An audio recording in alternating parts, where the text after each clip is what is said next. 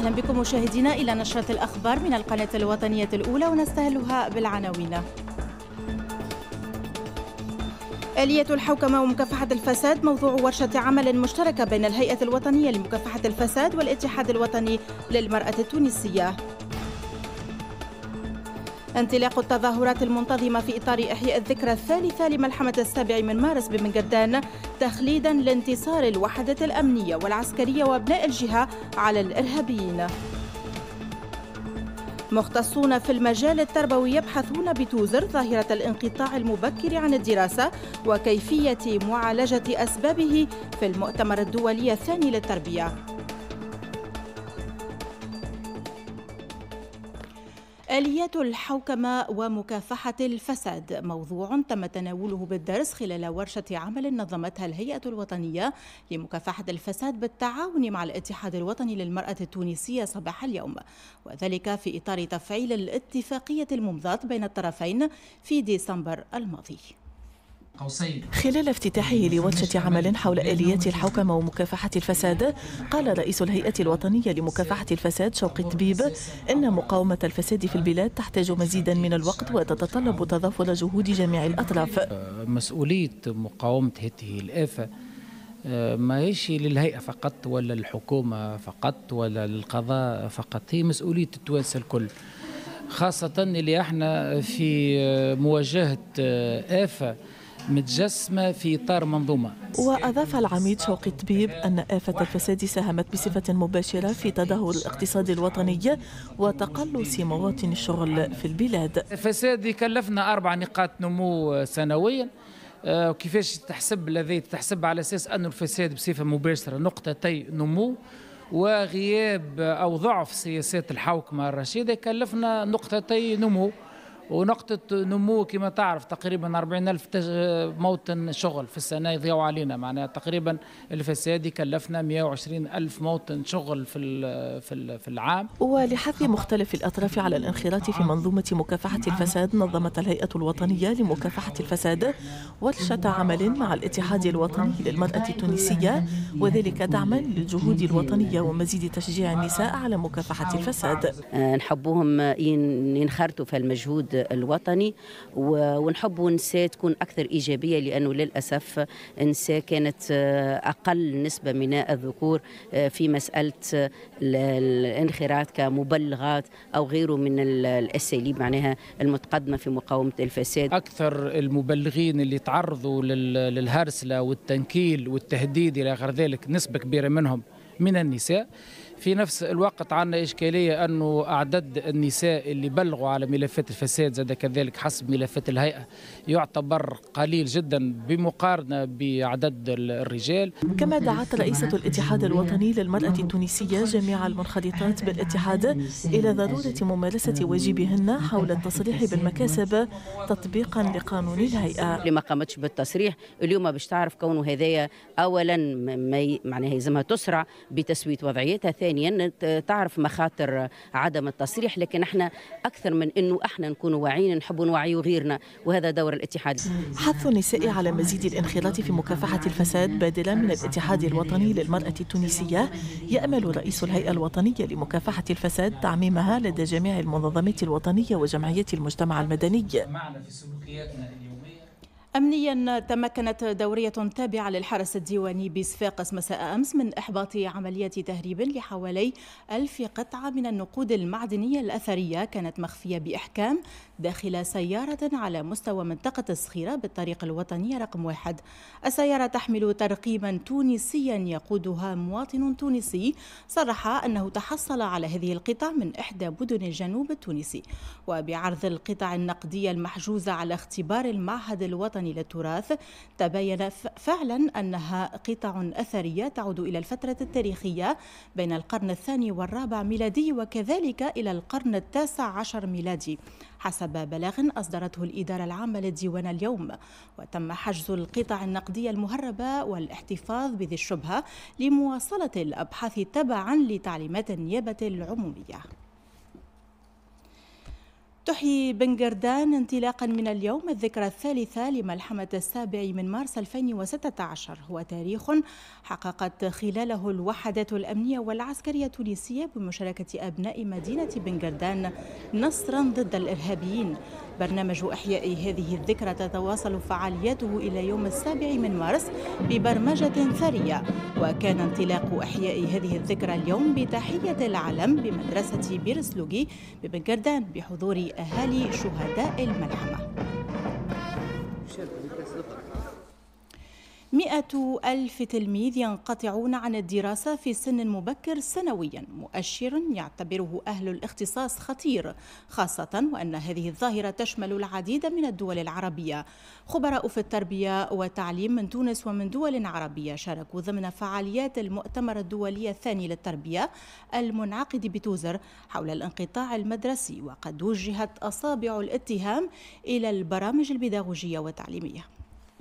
انتظم بمدينة توزر المؤتمر الدولي الثاني للتربية حول الانقطاع المدرسي تحت عنوان أي دور للفاعل المحلي بحضور مشاركين من الجزائر والمغرب والعراق والسودان وسلطنة عمان من أجل التباحث وتبادل الأفكار لإيجاد الحلول الممكنة للحد من ظاهرة الانقطاع. نتبادل اليوم الخبرات ونتبادل التجارب وأيضا لندرس أسباب ظاهرة الانقطاع المدرسي. الانقطاع المدرسي نأخذه ك... ليس كظاهرة بل كمسار ينطلق حتى من التربية ما قبل المدرسية. ونتائجه تظهر خاصة على مستوى الإعدادي ظاهرة الانقطاع المبكر عن الدراسة والتي تفشت في عديد الدول العربية وأصبحت من المخاطر الأساسية التي تهدد مستقبل هذه الدول. وقد اعتبر المختصون أن الانقطاع عن الدراسة ظاهرة مركبة وأسبابها متعددة ومتداخلة. هي ظاهرة خطرة جدا الآن تواجه وطننا العربي بشكل كبير جدا واليوم لابد أن نقف بقوة أمام هذه الظاهرة لأن أصبح لها جانب خطير جدا ونحن عشناها في العراق. هو أن أغلب الذين انتموا للمتطرفين وآمنوا بأفكارهم من المنقطعين دراسيا ولا يحملون فكرا معين ذاك يستغلونه بطريقة كبيرة جدا. فواجبنا اليوم أن نحمي شبابنا وأطفالنا اليوم ونحصنهم بطريقة عملية جدا. حاولوا بأقصى الطرق أن معناها نتصدوا لها ونعالجوها. أول حاجة منخرطين ضمن التوجه الوطني لوزارة التربية في التصدي والحد من ظاهرة التسرب المدرسي من خلال تمكين التلاميذ من حقهم في التعليم إلى حدود ال 16 سنة والتدخلات الفردية الانفتاح على الأولياء دعوة المديرين إلى الاجتماعات مع الأولياء هذا الكل كان حاولوا قدر المستطاع أن ننجحوا عملية التصدي للظاهرة هذه. معالجة البرامج البيداغوجية والتعليمية والتي ساهمت في تفشي هذه الظاهرة من الأسباب التي وجب إصلاحها على حد تعبير أهل الاختصاص. يعني أن المدرسة لا يتعلمون في شيء. إذا كان فيها فهمتي أسلوب أسلوب إلقائي إذا كانت ما فيها شيء أنشطة فطن لهذا هو من مهمة الناس المباشرين للتلميذ يعني المدرسين يعني المدرسة في حد ذاتها. وهذا دور هام جدا بالنسبة للمدرسة عليها أن تطلع به. مئة ألف منقطعا سنويا عن التعليم وبمعدل 250 تلميذا يوميا وهو مؤشر خطير على مستقبل التعليم بتونس. ويبقى الانقطاع المبكر من أهم الهواجس التي تشغل اهتمام المشرفين وأهل الاختصاص على قطاع التربية ببلادنا. نتحول إلى قفصة للتعرف على رياضية تونسية تتألق عالميا وتتمكن بفضل عزيمتها وقوة إرادتها أن تكون بطلة استثنائية في رياضة ألعاب القوى لذوي الاحتياجات الخصوصية. هي مروى براهمي التي فازت مؤخرا بذهبية رمي الصولجان في ملتقى الشارقة الدولي بالإمارات العربية المتحدة. عادت بالمعادن النفيسة الذهب والفضة والبرونز من ملتقى الشارقة الدولي بالإمارات. رفعت الراية الوطنية عاليا هي مروى براهمي التي تأبى إلا الوقوف على منصة التتويج شعارها التحدي في النجاح. التتويجات والمشي نتاع دبي دي تأهلك تحضير باش تحضر بطولة عالم وحضرنا في الشارقة خذيت زوز فضية واحدة ذهبية ومن بعد مشينا عملنا زاد ميتين قاخر في دبي.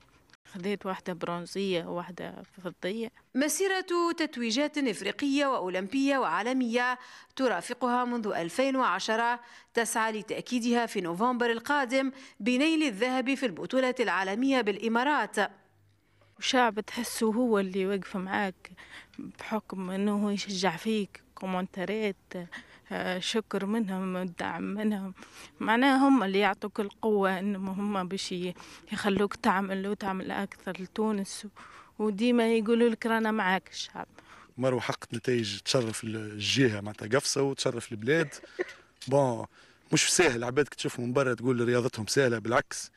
يعني برشا تحدي وبرشا خدمة وبرشا تعب وبرشا غش وبرشا مشاكل. أما في الآخر مروة كرياضية من أحسن ما تلقى معناتها ديما في البوديوم. البوديوم ما نحبش ثاني وثالث. الناس تتمناه أنا صعيب شوي. أنا نحب ديما الباز الأول. معناها نخدم على الأول. مروة براهمي بطلة استثنائية عانقت الذهب في عدة مناسبات. مروة ابنة المناجم تتألق وتوشح العلم رغم افتقارها للدعم المالي جهويا ووطنيا. نبقى في قفصة وببادرة من مؤسسة التلفزة التونسية وبالتعاون مع البرنامج الأوروبي لدعم قطاع الإعلام في تونس ميدياب. انتظمت دورة تكوينية لفائدة العاملين بالوحدات الجهوية بجهة الجنوب حول غرف الأخبار المدمجة التي أصبحت اليوم تلعب دورا رئيسا في تطوير المنتج الإعلامي. هذه الدورة تأتي ضمن سلسلة من الدورات الأخرى التي تهدف إلى تطوير قدرات الصحفيين في قسم الأخبار ومختلف الفاعلين في مؤسسة التلفزة التلفزة التونسية. تطوير أداء العاملين بالوحدات التلفزية الجهوية داخل غرفة الأخبار المدمجة وتطويع العمل الإخباري وفق مقتضيات التقنيات الحديثة ونشره على جميع المنصات والمواقع الإلكترونية مثل محور دورة تكوينية بقفصة لفائدة العاملين بالوحدات التلفزية الجهوية بجهة الجنوب. الهدف منها هي أن نوريهم طريقة العمل الجديدة وفقا للرؤية الاستراتيجية الخاصة بالمؤسسة في إطار غرف الأخبار المدمجة وكذلك التحول من مؤسسة تقليدية إعلامية تقليدية أي تلفزة تقليدية إلى مؤسسة مختصة في الإعلام المدمج أي أن نبثوا ونوزعوا المضامين على مختلف المحامل والمنصات. أيضا أن نغيروا في التعاطي مع المعلومة والتثبت منها في أسرع الأوقات. هذا ما يجب يكون كان داخل غرفة الأخبار المدمجة. ضمن موقع جديد لمؤسسة التلفزة التونسية بمختلف وحدات إنتاجها في الجهات داخل المشهد الإعلامي الوطني والدولي هاجس أبناء المؤسسة من العاملين بالوحدات الجهوية. الأخبار المدمجة آه، أعتقد أنها خطوة إلى الأمام في سبيل النهوض بواقع التلفزة التونسية آه، خاصة في ظل المنافسة. الكبيرة. اليوم اللي شفناه اليوم كفكرة هي رائعة جدا وهي تهمنا برشا وهي تنجم تخلينا آه، معناها نواكبوا التطورات في المجال الإعلامي. لكن إن شاء الله الدعم يتوفر. المؤسسات الإعلامية مع المحامل الجديدة كما اليوتيوب الفيسبوك تويتر الانستغرام باش نكونوا بلغة أخرى على باج باش نكونوا مواكبين. هي دورة تكوينية ثانية بعد دورة أولى انتظمت بمدينة المنسير ببادرة من مؤسسة التلفزة التونسية وبالتعاون مع البرنامج الأوروبي لدعم قطاع الإعلام في تونس لفائدة وحدات الإنتاج التلفزي بالجهات نختم بالثقافة ويشارك نحو 30 أستاذا من معهد الفنون والحرف بصفاقس في معرض اللوحات الفنية والمنحوتات بفضاء المعهد. المعرض يمزج بين النظري والتطبيقي ويمثل همزة وصل بين المعهد والمشهد الثقافي بولاية صفاقس ميزة هذا المعرض أنه بإمضاء أساتذة معهد الفنون والحرف وأنه نقطة لقاء بين النظري والتطبيقي من زاوية قاعة العرض الموجودة في حضن مؤسسة يعهد إليها بصقل المواهب الإبداعية علميا. إحنا هوني نحاولوا نزيدوا نكونوا المخزون البصري لأنه آه، شو كان يشوف العمل نتاعي أو بقية الأعمال مش يكون عنده موروث بصري بالموروث هذا يقدر الطالب بشويه بشوية يكون عنده عمل نتاعو يكون عنده آه، رؤيته. تكون مختلفة أكيد عني أنا وعن بقية الزملاء. وكل واحد من زاوية النظر نتاعو يعبر عليه وهذا يعطي مثلا سواء كان الطلبة نتاعنا آه، رؤية تكون كيفاش عنا موضوع واحد وتشوفوا بأوجه مختلفة تشوفوا بأساليب بتقنيات بصور ولا بتعابير مختلفة. حاجة مزيانة على الآخر كي نلقاو البروفيت نتاعنا يبارتاجيو الخدمة نتاعهم ونراو برشا variations في نفس ال thème ما بين برشا spécialités sculpture gravure céramique peinture برشا حاجات معناها نراوها مزيانة. لوحات زيتيه ومنحوتات وفسيفساء وجمال بمواد مختلفة وزوايا متنوعة. في معرض أخرج فيه ثلاثون أستاذا الفنان الذي بداخلهم.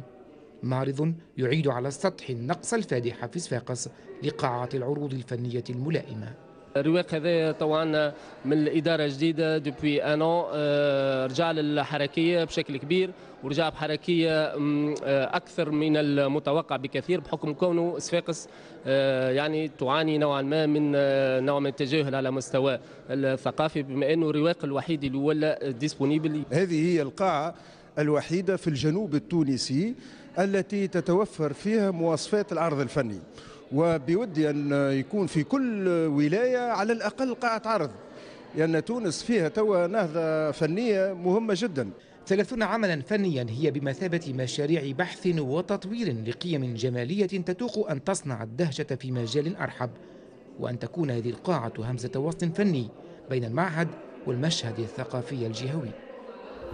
هكذا نصل مشاهدينا إلى ختام النشرة ونذكركم بالعناوين. آلية الحوكمة ومكافحة الفساد موضوع ورشة عمل مشتركة بين الهيئة الوطنية لمكافحة الفساد والاتحاد الوطني للمرأة التونسية. انطلاق التظاهرات المنتظمة في إطار إحياء الذكرى الثالثة لملحمة السابع من مارس ببنجردان تخليدا لانتصار الوحدة الأمنية والعسكرية وأبناء الجهة على الإرهابيين. مختصون في المجال التربوي يبحثون بتوزر ظاهرة الانقطاع المبكر عن الدراسة وكيفية معالجة أسبابه في المؤتمر الدولي الثاني للتربية.